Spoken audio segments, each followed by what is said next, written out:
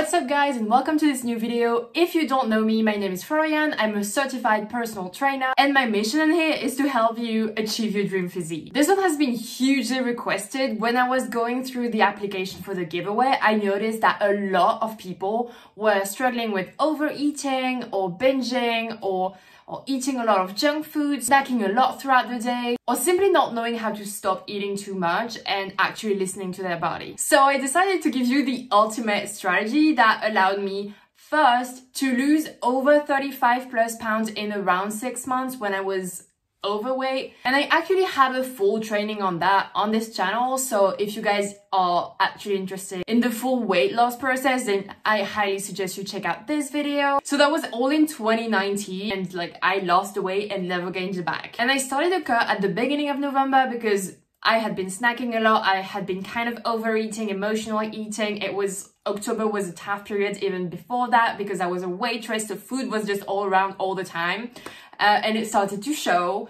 And so it's only been three weeks and I'm really impressed with the results so far. That's why I'm sharing the strategy. I'm probably gonna stay on that cut for an additional three weeks just to see what can happen. And because after that, it's like Christmas time, so I'm not gonna be cutting on Christmas or counting my calories on Christmas. Thank you very much. But my point with this video is show you how replicable this strategy is and just how easy it actually becomes to lose weight once you have the right strategy that works for your body. And I'm pretty sure that if it worked for me, it's going to work for you as well. Right, so now that I have your attention, let's get straight into it, how to stop overeating. Right, so let's get straight into how to stop overeating and finally lose the weight.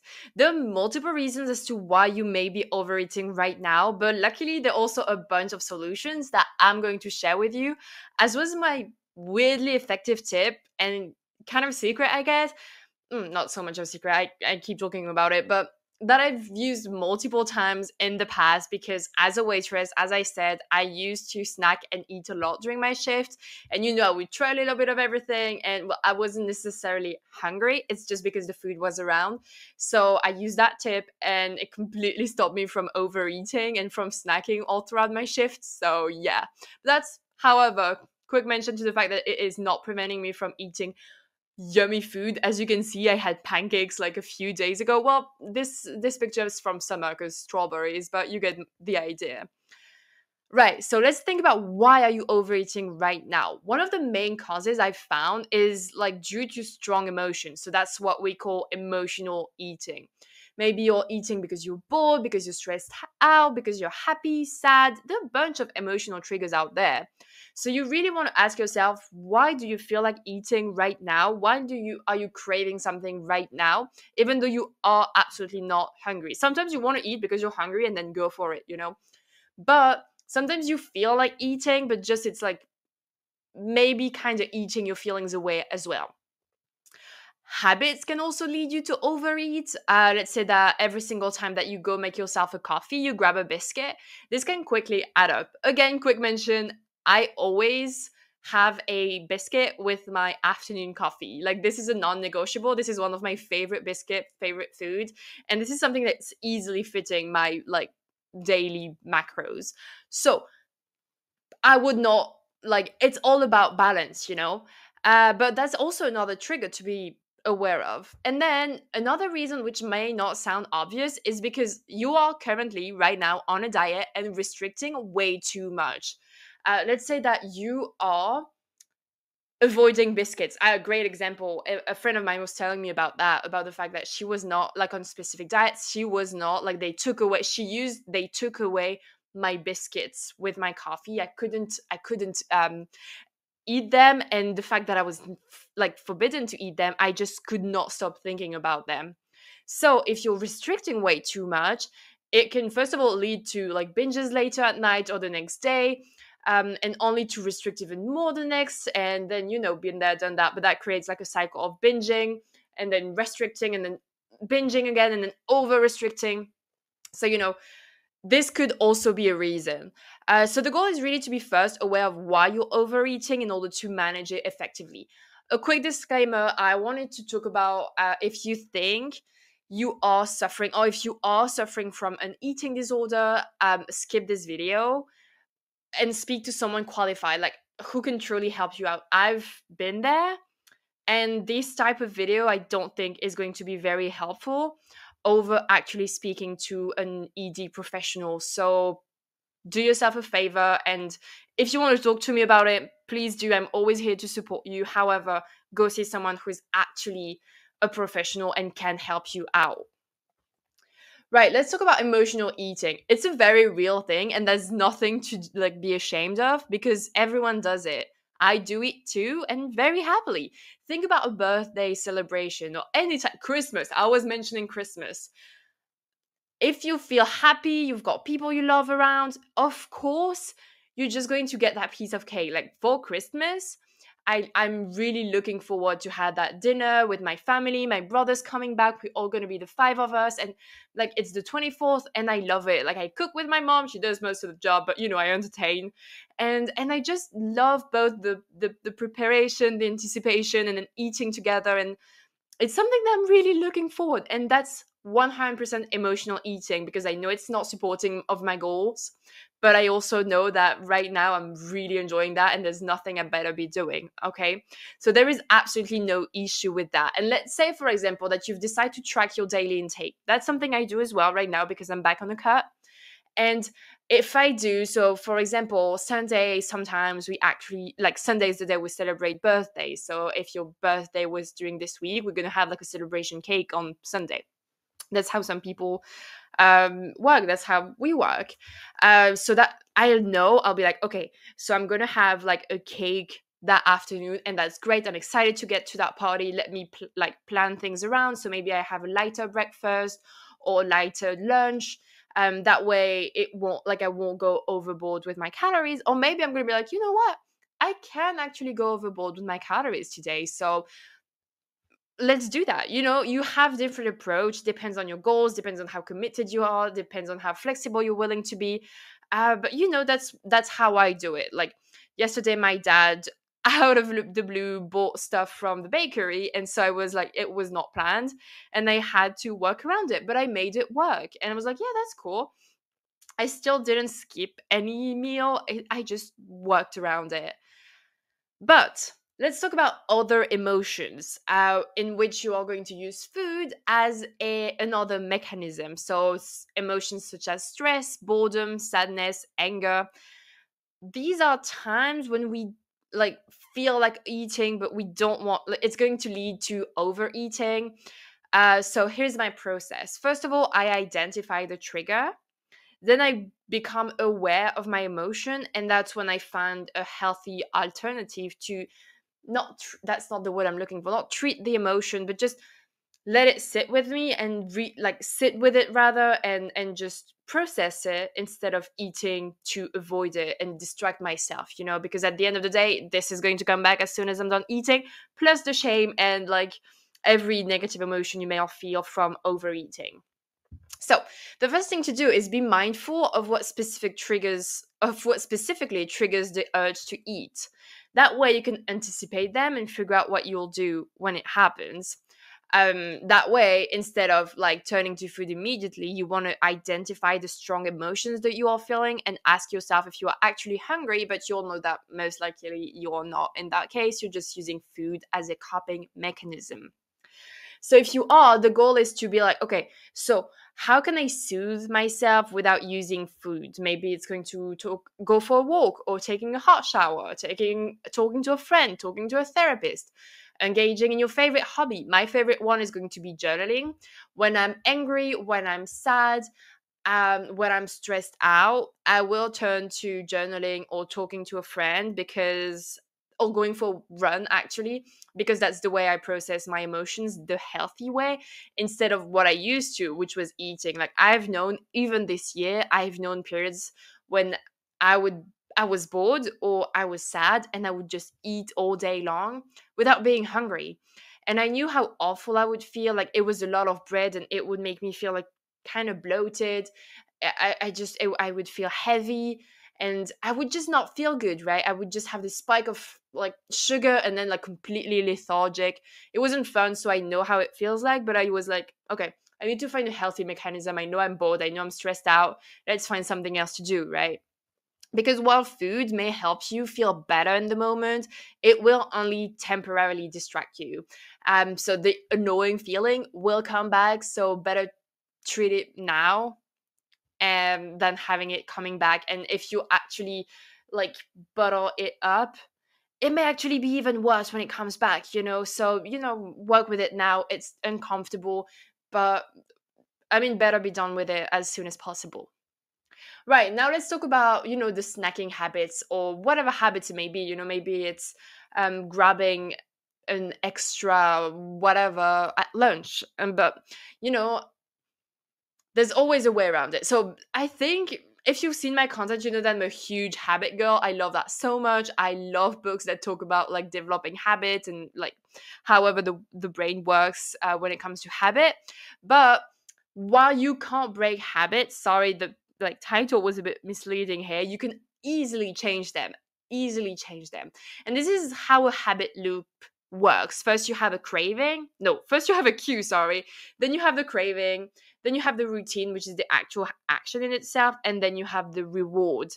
So the only two things you actually have like a huge you can have a huge impact on and actually work with is the cue and then the reward. So, first thing first, we are going to think about the cue. Figure out what your cue for snacking or whatever is or overeating is. It could be a specific time, it could be a context, it could be an object, it could be a person. Find the cue. Ask yourself, why am I grabbing a, a biscuit right now? Is it because I'm is it because I always do it like eat that with a coffee? Then okay, how could I change that? Maybe I could grab an apple instead uh, you know, or maybe I could, I don't know, whatever would feel rewarding at the time. Maybe when I check my, I, I can also quickly check my emails or quickly check my Instagram, you know? It can be a different type of, of uh, satisfaction or a different type of habit. It doesn't have to be the same thing. Or maybe instead of eating chips while watching TV or studying or working, you can make yourself a cup of tea. Or you can just actually fully focus on studying and not eat anything. Uh, maybe instead of reaching out for the ice cream when you feel sad, which again is kind of the emotional eating we're talking about, journal about it or call a friend. You know, for every single like snacking habits that you know you have because you know you have them, like you can pretty much tell when you're snacking because you're snacking and not because you're hungry. So you want to figure out what's the cue. Is it a specific time? You know, and so on and so forth. Um, yeah, and then um, I'll talk about my reward system in a minute, as I said, and that way I'll be able to explain to you, like, which is my weird trick uh, to stop overeating and snacking as well. But you want to find the cue, and then you want to ask yourself what re- we'll talk about the reward in a second, but ask yourself what the reward for not for replacing the habits could be. So, for example, if you like, what would be the reward from for grabbing an apple instead of a biscuit with your coffee? And by the way, if you are actually in a calorie deficit, like bring like getting one biscuit over an apple would be like exactly like kind of the same calories depending on what type of biscuit, what type of apple and the size and everything. But you get the idea. Uh, so this one would be more about like having something nutrient dense. Anyway, now, now I want to talk about like a very physiological response to overeating, binging, snacking, all of that. If you're far from giving your body what you need, um, just to like just to stay alive just to function properly at the bare minimum then of course your body will fight back and will try to to finally get what what it needs from you. It will go into survival mode so it will first of all lower your metabolism so you spend less energy at rest and overall throughout the day which by the way will make lo- will make weight loss more and more difficult but it can also uh, increase your cortisol les- level, so you'll feel more stress and also holds on to fat. So if right now you're on a highly restrictive diet and you know that you're stuck in the cycle of eating way too little, restricting food and eating like as healthy food as you can, or to binge later because you absolutely are starving, and then cut back cut back even more the next day, then let's talk about what to do. I've been in that cycle many, many times. I highly recommend you go on the NASM body weight calculator because it will give you exactly like it will give you a good approximation of what your body actually needs to maintain it. And then if you want to lose weight, I want you to calculate a 10 to 15% deficit. Not more, that's the deficit I'm on right now. and you've seen the results like it's it's great i'm really happy with the results and actually when i have a smaller deficit that's when i lose the more fat i want to say weirdly enough but that's not weird at all um, and since i'm losing fat and not water when i get back to my maintenance and don't gain it back and so on and so forth. So you don't really need a big deficit to lose weight you just need a healthy deficit so your body actually feels safe enough to drop the fat instead of holding on to it because it went into survival mode now, I wanted to talk about my reward system. This is like my weird trick that worked every single time I wanted to implement a new habit, especially stop snacking or overeating. Uh, so, as you can see, this is all in my notes app. So, it's really like anyone can do it. Uh, so remember when we identified the cues and decided what to do instead? Well, we want to pick a reward to motivate us to actually do the right thing. So as I said, like I wrote just context, but I already told you that I used to be a waitress and that meant that food was everywhere and I would snack especially on bread and butter. Like this were my favorite. And then of course you had like um the the the dessert guy who would like give me a few things like oh you should try that biscuit oh i've just made that do you want some um, you know, it was easy to to to eat all throughout my shifts. Uh, but I noticed how, especially overeating on bread, like I noticed quickly how bad it would make me feel. Uh, so I decided to use that reward system because I love buying stuff. And I was giving myself permission. Like, this is kind of girl math, right? If I worked for it, it's basic, like, and if one workout equal equal one euro, for example, at the end of the day, it's basically free. And it really motivated me to hold on um, on the snack and like finally reach my target intake, for example. Uh, but yeah, this is how I would write it on my phone. Oops, sorry. This is how I would write it on my phone and really having a clear wish list right after that. Uh, for example, new running shoes and new workout outfits. So better like earphones and I would have the price on on the one that pick or the link uh, or the pictures and it was really motivating to see like every day I would write the date and then for example if I had done one workout and no snacking I would write 2 euros if I had done just no stack, snacking, one euro. If I had done the three, three euros. Like it's basically up to you how much each of the right habit is. Uh, but if you're like me and you love buying stuff, then that's going to be a good enough reason.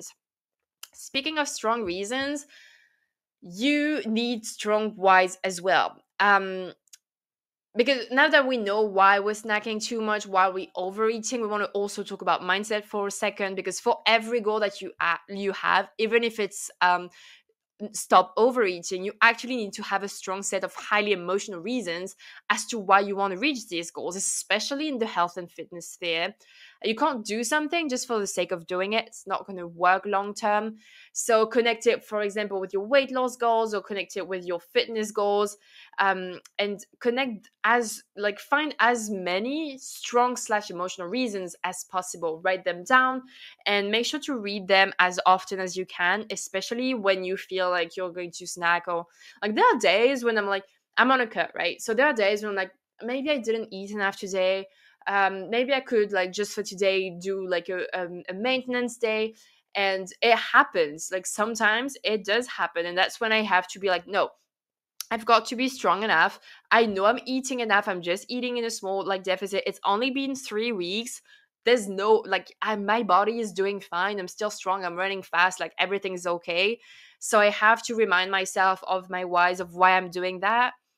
Uh, and mostly it's related to showing you what's possible. So that's great that you are one of my biggest reasons, guys, out there uh, as to why I'm doing like all of that and why I'm pushing myself.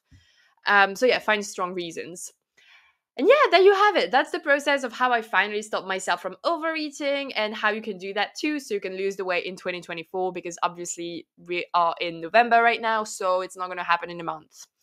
And if losing 35 plus pounds of fat in less than six months is something like without starving yourself, without giving up on your favorite food, without spending hours on the treadmill, and most importantly, without gaining it all back after the process is over, is something you're interested in, then I highly recommend that you book a call with me below.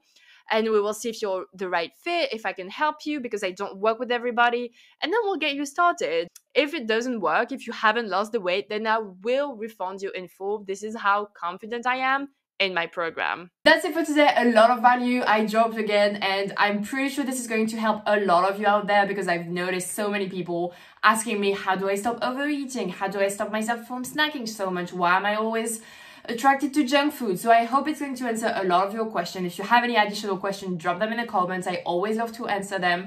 And you know, like, share, subscribe, like share it with someone who you know could benefit from watching that. Uh, and that's pretty much it for today. I'll see you in the next video. Bye.